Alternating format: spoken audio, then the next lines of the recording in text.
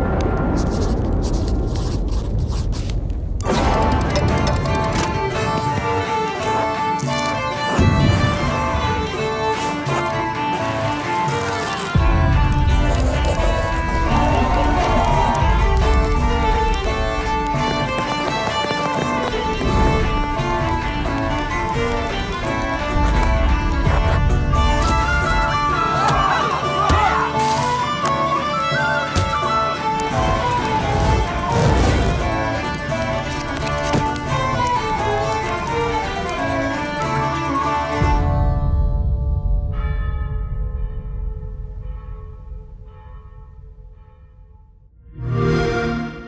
Play it day one with Game Pass.